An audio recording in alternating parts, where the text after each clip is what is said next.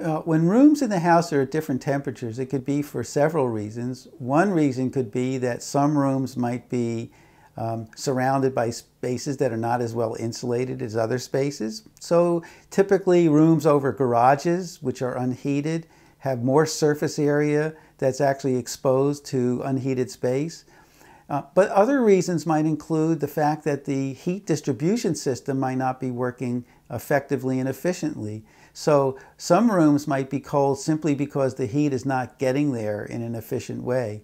The only way to really be certain and to know what's causing rooms to be cold is really to have a professional come in and do a thorough analysis of the building and its systems to determine whether it's distribution related or whether it's simply insulation related or air leakage related. There could be a room adjacent to uh, a wall that is leak significantly leaking cold air into the attic, which would cause that wall to be cold and make the room uncomfortable.